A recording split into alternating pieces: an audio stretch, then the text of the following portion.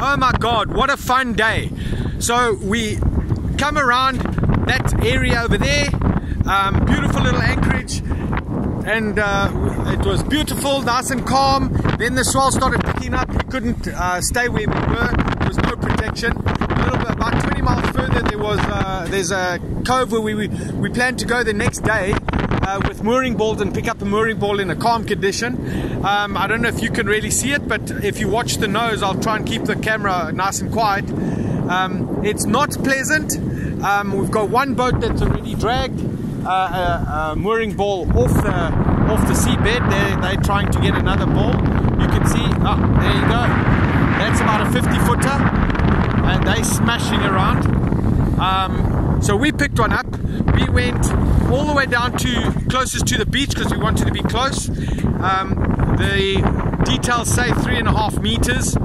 Uh, for those redder ones.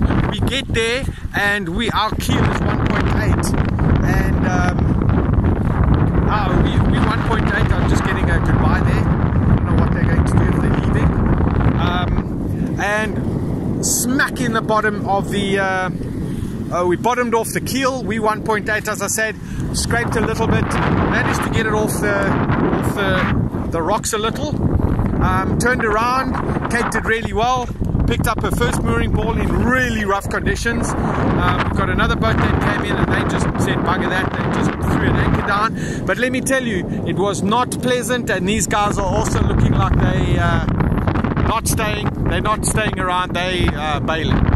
So yeah, that's the conditions at the moment that we're dealing with and it looks like it's here for the evening. So it's going to be a rocky evening